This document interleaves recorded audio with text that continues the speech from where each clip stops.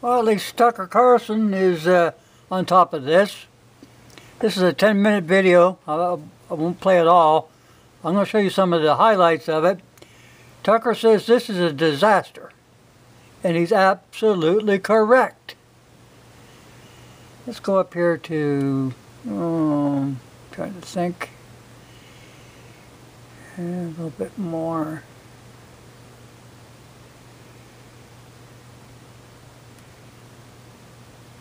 Right here. Put it. The whole town may be unsafe as a result of this. Watch. the railroad company was responsible for this, and before these people went back to their homes, their, their homes should have been tested. Uh, their homes should have been cleaned. Um, from the you know from the onset, these people were being uh, marginalized uh, in, in an effort to uh, to mitigate this. And you know, at first they were being told, you know, go get a hotel and uh, keep your receipts and we'll reimburse us.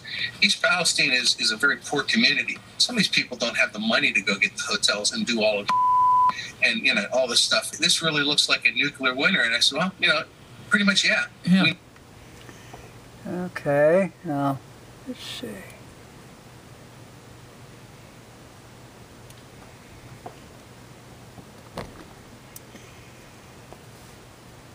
Here's what you're looking at. You're looking at 5, 10, 15, 20 years down the line until you see potential long-term effects. This stuff needs low-lying areas. It could be in sewers, it could be in nooks, it could be in crannies, in crevices.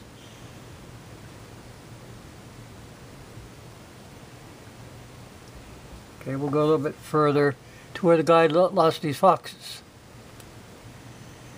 Yep, back up a hair.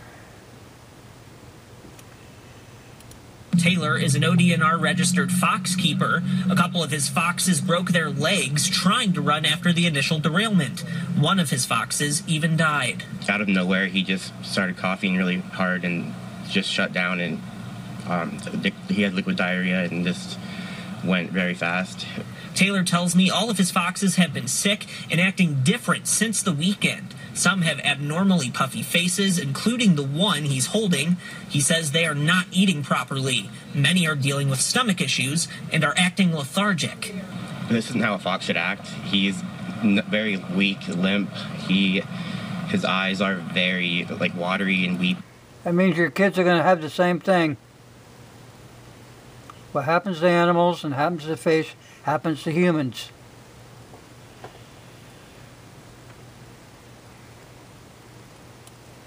I want to thank Fox News for, for taking the time to put this out and allowing these guys to talk.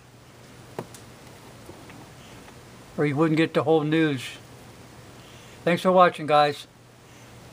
I'll put a link.